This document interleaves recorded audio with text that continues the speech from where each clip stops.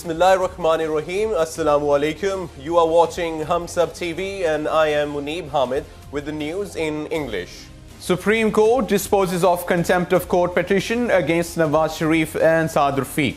Supreme Court on Wednesday has dismissed another contempt of court petition against ex-Prime Minister Nawaz Sharif and Federal Minister for Railways Saad Rafiq.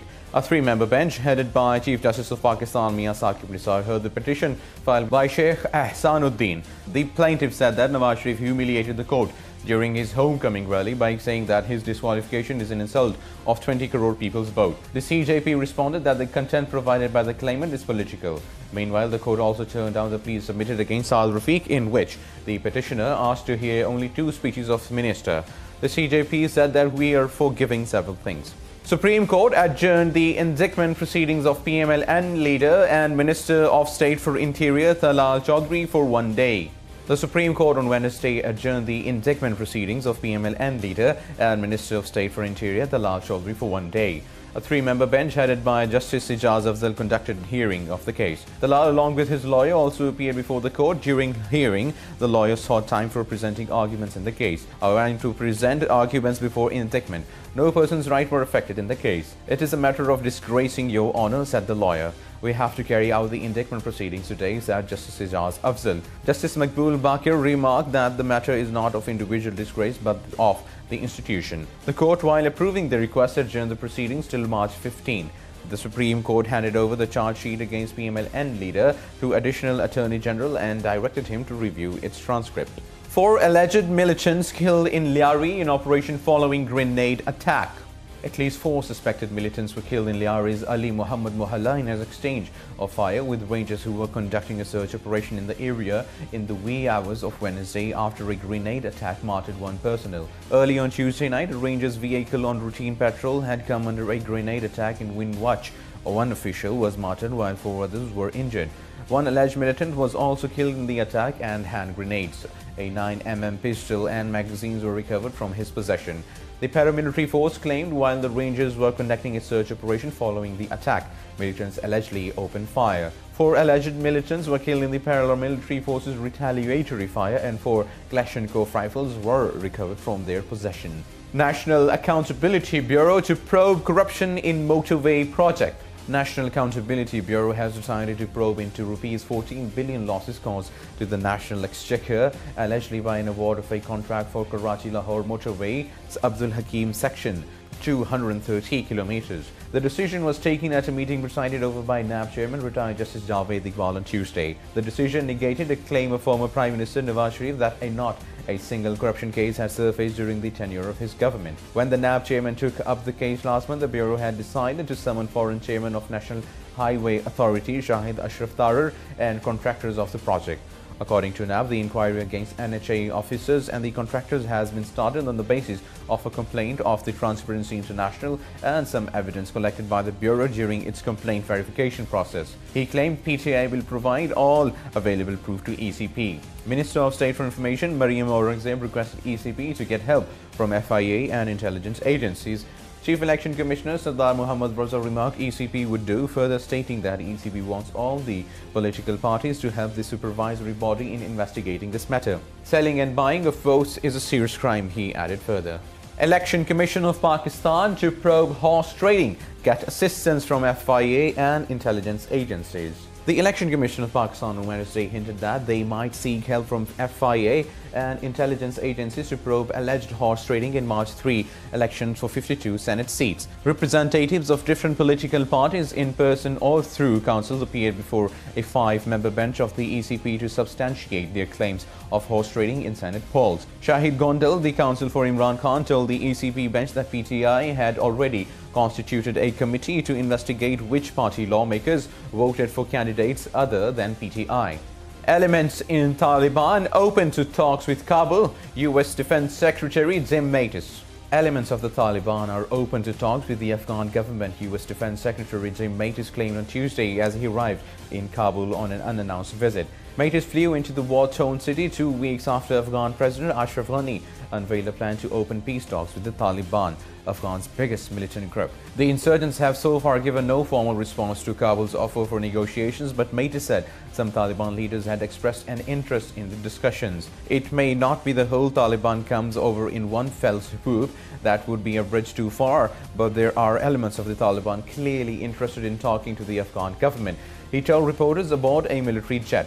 Ghani's peace plan includes eventually recognizing the Taliban as a political party. The group has said it is prepared to negotiate but only with the United States and not with the Kabul government. European Union tells Britain to face up hard facts on Brexit. European Union's Brexit negotiator Michel Barnier hammered home again on Tuesday that Britain would not retain its current privileges including on trade once it leaves the bloc. The EU and Britain are hoping to seal a deal this month on a transition period after Brexit and start talks on their future relationship this spring. But mounting differences over Britain's divorce from EU have led the bloc to warn repeatedly that time was running out, that the post-Brexit transition was not a given, and that London should be more precise and realistic on what sort of future ties it sought.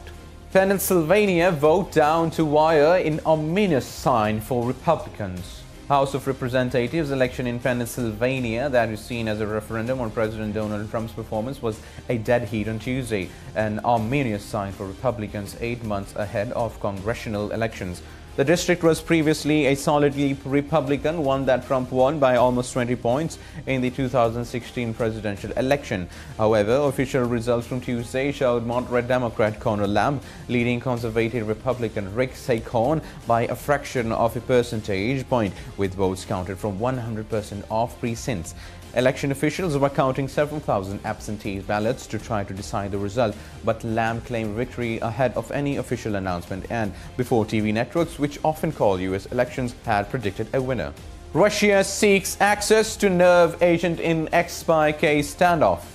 Russia will only cooperate with Britain on the investigation into last week's poisoning of an ex-Russian spy and his daughter if it receives samples of the nerve agent that is believed to have been used. Russia's foreign minister said on Tuesday. Sergei Lavrov spoke in response to the British government's demand for an explanation of the use of a military-grade nerve agent produced in Russia in the attack in the English city of Salisbury. Lavrov told reporters on Tuesday Moscow's request to see samples of the nerve agent have been turned down, which he called a violation of the Chemical Weapons Convention, which outlaws the production of chemical weapons. He insisted that Russia is not to blame for the poisoning. He said Moscow is willing to cooperate with the probe, but suggested that London would be better off complying with its international obligations before putting forward ultimatums.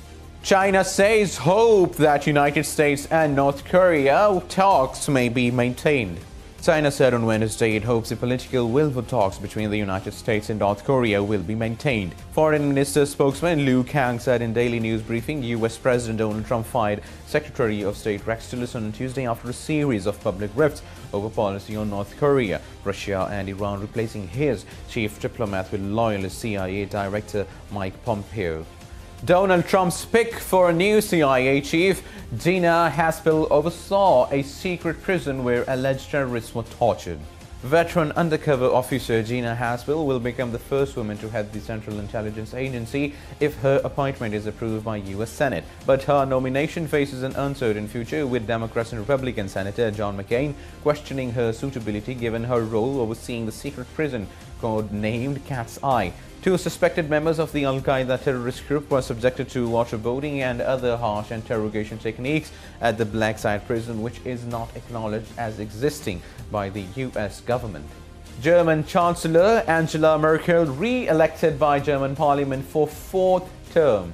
German Chancellor Angela Merkel was on Wednesday elected by parliament to her fourth term at the helm of Europe's biggest economy. Bundestag lawmakers voted 364 to 315 for Merkel with nine absents. Merkel is to be formally appointed by President Frank-Walter Steinmeier before taking oath of office at 1100 GMT.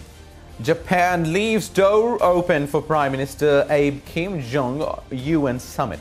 Japan's top government spokesman left the door open on Wednesday to a possible summit between Prime Minister Shinzo Abe and North Korean leader Kim Jong-un to discuss the matter of Japanese citizens kidnapped from Pyongyang's agents decades ago.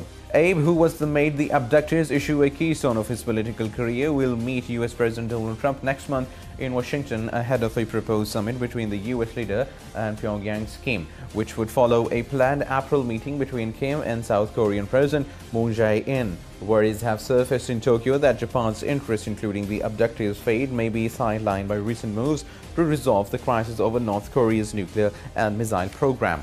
Renowned physicist Stephen Hawking passes away at 76. Renowned British physicist Stephen Hawking, whose mental genius and physical disability made him a household name and inspiration across the globe, has died at the age of 76. A family spokesman said on Wednesday, We are deeply saddened that our beloved father passed away today. Professor Hawking's children, Lucy, Robert, and Tim said. The physicist and cosmologist had defied deaths for decades after being diagnosed with Lou Gehrig's disease when he was 21-year-old student at Cambridge University. Most people die within a few years of the diagnosis of the disease, also called the motor neuron disease. Hawkins first gained attention with his 1988 book A Brief History of Time, a simplified overview of the universe. It sold more than 10 million copies worldwide. His subsequent theories have revolutionized modern understanding of concepts like black holes and the Big Bang theory of how the universe began. And now some business news. No security clearance yet for Chinese firm working on Gwadar port. Parliamentary panel on Tuesday ordered the launch of a probe to determine the real origin of a Chinese company that is developing the Pearl of China-Pakistan Economic Corridor after the government admitted that the company did not have the security clearance to work in Pakistan. The Ministry of Interior has not yet issued a security clearance certificate to China Overseas Port Holding Private Limited companies that is building and operating Gwadar deep sea port, said the Securities and Exchange Commission of Pakistan executive Dr. Shaukat Hussain. And now some sports news. PSL 2018 final tickets to go on sale tonight. The tickets for the final of the Pakistan Super League 2018 are set to go on sale at yayvo.com and selected courier centers from midnight tonight. The tickets will be available at 78 courier centers in Karachi, Lahore, Sheikhupura, Kasur, Ravin, Faisalabad, Gujranwala, Sialkot and Hyderabad. Details of the location of these courier centers are available on the website. Due to security reasons, there is a maximum cap of 5 tickets per CNIC and buyers will have to present with their original CNICs at the time for making the purchase. Once the tickets are made available for purchase, aspiring stadium goers will be able to choose from tickets ranging from rupees 1,000, 4,000, 8,000 and 12,000. And now the weather forecast for the next 24 hours. Rain, thunder, shower with gusty winds is expected at scattered places in Upper Khyber Pakhtunkhwa, FATA, Islamabad, Upper Punjab, Rawalpindi, Gujranwala and Sargodha divisions, Kashmir and Gilgit-Baltistan, while at isolated places in Lahore and DG Khan division, snowfall is expected over the mountainous region of Gilgit-Baltistan and Malakand. And that is the end of the news. For more news and analyses, please keep watching HumSub TV. Take care.